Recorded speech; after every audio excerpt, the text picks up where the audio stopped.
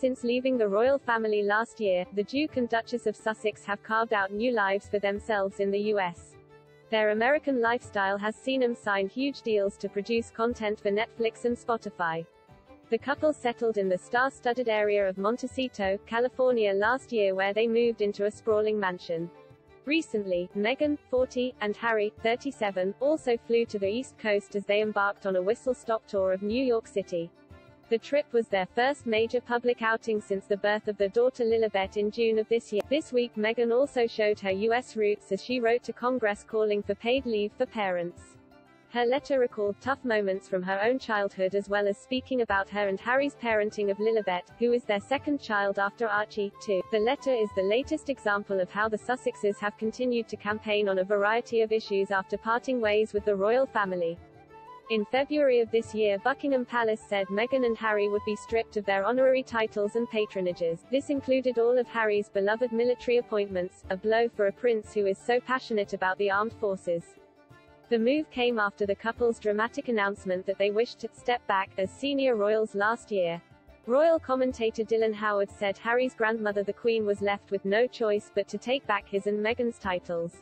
The journalist is the author of Royals at War, the untold story of Harry and Meghan's shocking split with the House of Windsor. He spoke about the Sussexes losing their titles in the 2021 documentary, Secrets of the Royal, The Markles vs. The Monarchy. He said, I think Harry wanted it both ways. He wanted to be able to live a life free of responsibility but still make change.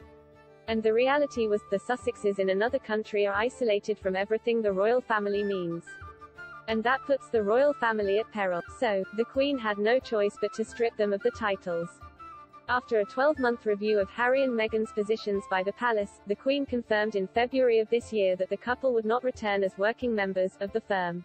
She also confirmed that the Sussexes would be stripped of their patronages of the various organizations they represent. Harry, who served on the front line in Afghanistan, was forced to relinquish his role as patron of several military organizations. He also had to give up his roles as president of the Queen's Commonwealth Trust, patron of the Rugby Football Union and the Rugby Football League, and patron of the London Marathon Charitable Trust. Meghan had to give up her patronages of the Royal National Theatre and the Association of Commonwealth Universities, as well as her role as Vice President of the Queen's Commonwealth Trust. Buckingham Palace said the Queen had said, It is not possible to continue with the responsibilities and duties that come with a life of public service. Its statement said the royal family was saddened by Meghan and Harry's decision to leave, adding that the Duke and Duchess remain much loved members of the family.